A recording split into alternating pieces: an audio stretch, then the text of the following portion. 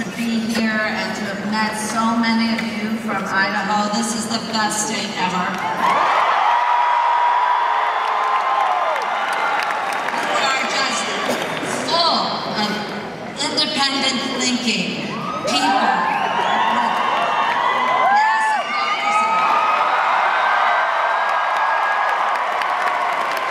With the imagination and courage to believe that change is possible. And I've been visiting and seeing all the hard work that's going on at all the phone banks and everywhere. You are just working so hard, all of you. And change is hard. The kind of change we're talking about is so hard. I mean, people gave their lives to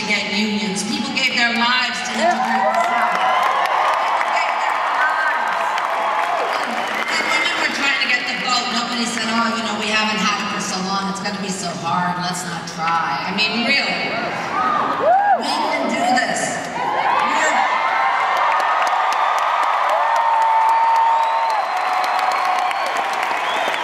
And we are talking about taking on a, a machine, a machine that is massive. And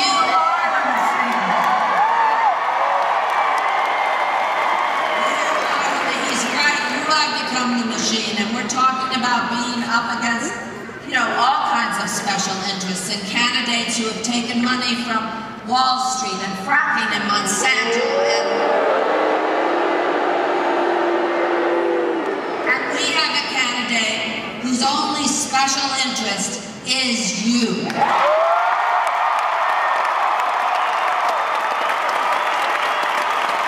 He has taken money from just us. We are his one issue, us.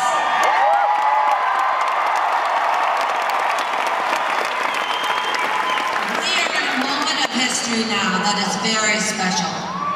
Very, very special. This is not just another election. This is a movement. This is a revolution.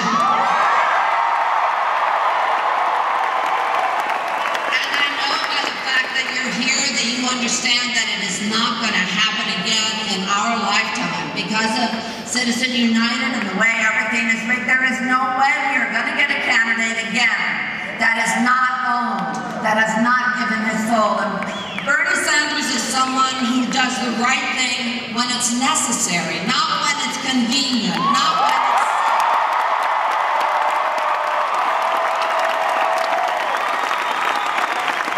And that is what this country needs. That is what we are ready for. That is what you are ready for. I look out and I can see that you know you deserve what he's talking about.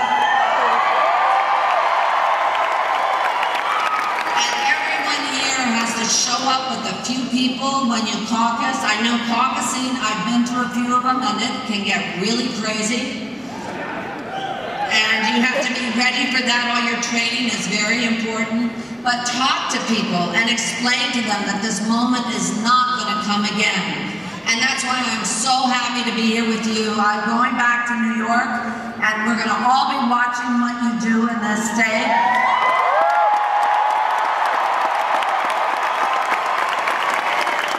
I pray for you to have the courage and the fortitude and the hard work to pull this off. I know you can. And now I am so proud to be able to give you